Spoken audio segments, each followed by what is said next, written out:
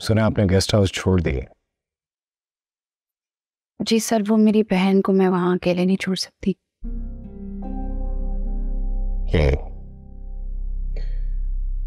खैर आपको कोई भी प्रॉब्लम हो तो आप मुझे ज़रूर बताइएगा। क्योंकि आप हमारी कंपनी के लिए बहुत इंपॉर्टेंट है। मुझे आपसे कुछ कहना था। अब अपनी सीट यहीं मेरे ऑफ़िस में क्यों नहीं शिफ्ट कर लेती सर यहाँ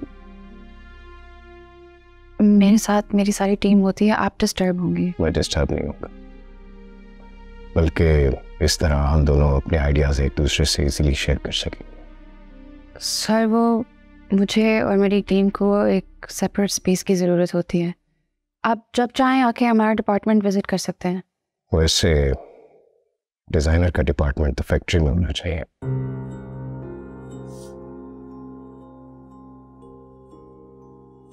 आप जैसा बेहतर समझे आप हमें फैक्ट्री शिफ्ट कर सकते हैं। इस बात में गौर किया जा सकता है। सर मुझे इजाज़त है। मिसानिया आप एक बहुत अच्छी डिज़ाइनर बहुत काबिल। इसलिए मैं चाहता हूँ कि मेरे बेटे की शादी के सारे ड्रेसेस आपको डिज़ाइन करें। सर मैं? जी आप दानियाल की बात पक्की हो गई है। बहुत जल्द शादी का इरादा भी है। एक बहुत मशहूर ब्यूरोक्रेट फैमिली है जहाँ उसका रिश्ता हुआ है। इसलिए मैं चाहता हूँ कि ड्रेसेस भी उसी स्टैंडर्ड्स की। बहुत खुशी हुई सुनकर। पर सर, मैं टेक्सटाइल डिज़ाइनर हूँ, फ़ैशन डिज़ाइनर नहीं। ओके, मैं काम के लिए जाती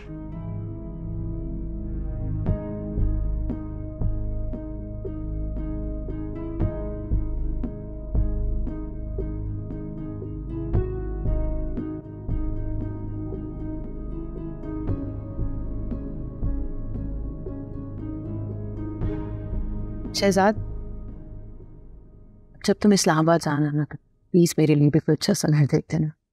जी अच्छा। अरे अम्मी तो आप हानिया के साथ क्यों नहीं रह लेती इस्लामाबाद में? ना बाबा ना। हानिया के साथ नहीं सॉरी।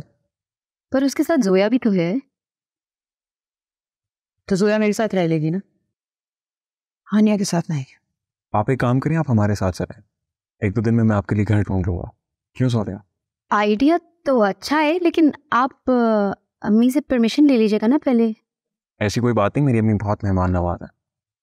अरे लेकिन मेहमान नवाजी और समधन नवाजी में थोड़ा फ़र्क भी होता है ना?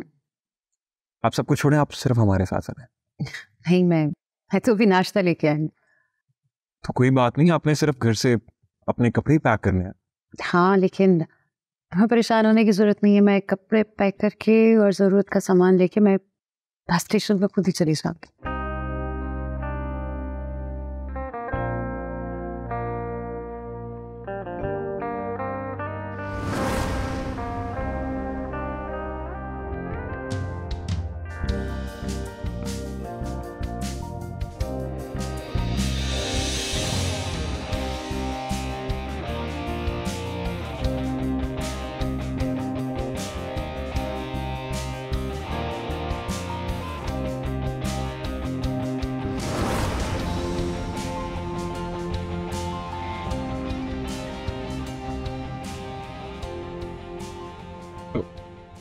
अम्मी सब खैरियत है मैं कुछ नहीं बस